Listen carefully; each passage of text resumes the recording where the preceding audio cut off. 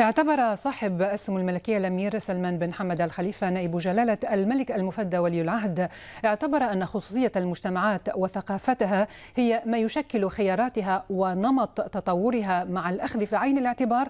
أهمية الاستفادة من تجارب الآخرين والانفتاح عليها بموضوعية لإثراء سياق تقدمها. وأضاف سموه خلال لقائه مع السفير الفرنسي سيد كريستيان تيسو في قصر الرفاع اليوم.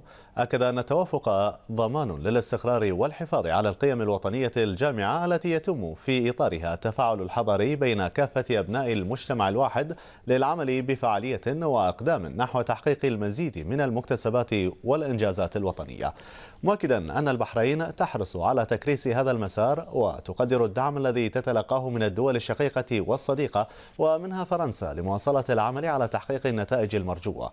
ونوه سموه بمستويات التعاون والتنسيق المشترك في أطر العلاقات بين البلدين الصديقين وتنوع نطاقها ليشمل المجالات الاستراتيجية الاستراتيجية السياسية والعسكرية والاقتصادية والتعليمية والثقافية.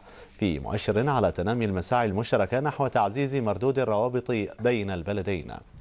وتناول اللقاء جملة من المواضيع المتعلقة بالتطورات الإقليمية والعالمية. من جانبه أشار السفير إلى أن الحرص المتبادل بين البلدين على تمتين جسور التواصل والتعاون دلالة على الإيجابية المتواصلة في العلاقات وما تحمله من إمكانات وقابلية لمزيد من النمو.